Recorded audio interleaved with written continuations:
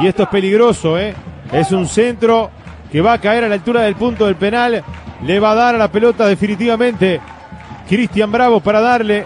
Carga arriba Wander buscando, como lo hiciera ante Cerro Largo, el triunfo a Boni con esta noche del Viera. 44 casi del segundo tiempo. Le va a dar el chileno Bravo. Está por si acaso en el rebote ubicado ya Diego Riolfo. Le va a meter a la pelota el futbolista Bravo. Va a dar la orden Ribeiro que está muy atento a cualquier forcejeo en el área grande. Da la orden nomás. El centro cerrado. Golpe de cabeza. ¡Amarga Vesubio!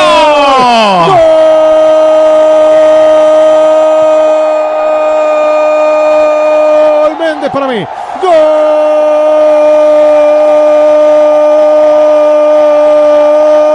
Gol de Wonders.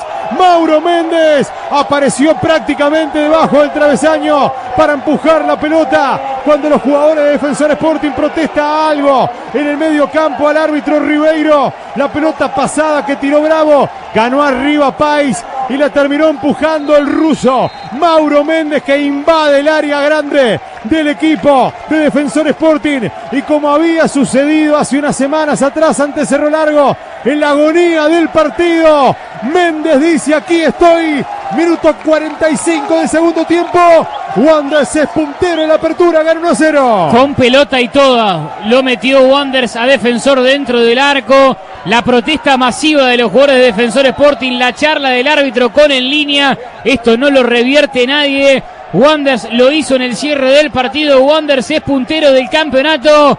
Golazo de Méndez. Gol de Wanders que gana 1-0. Golazo de Cololó. Sport 890.